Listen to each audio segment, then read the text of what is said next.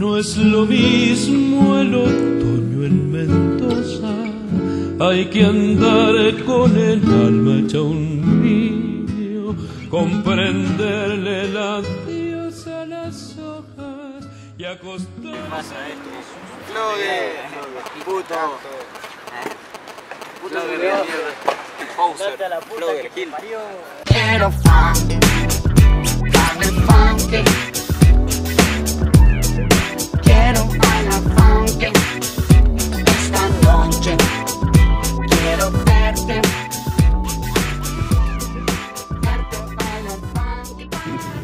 Mí lo que, lo que me molesta es que por andar en skate te, te toman como un vándalo como un chico que te drogas. Claro.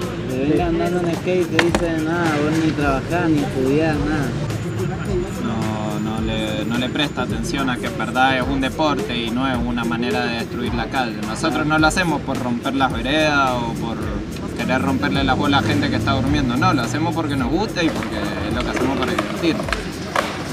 Igual ahora es como que está un toque más aceptado el skate en, en Mendoza. Antes no, antes no podías andar en ningún lado.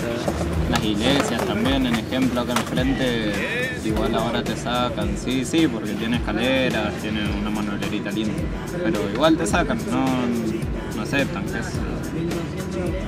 Le tenés que decir, soy hijo de Dios, puedo patinar acá.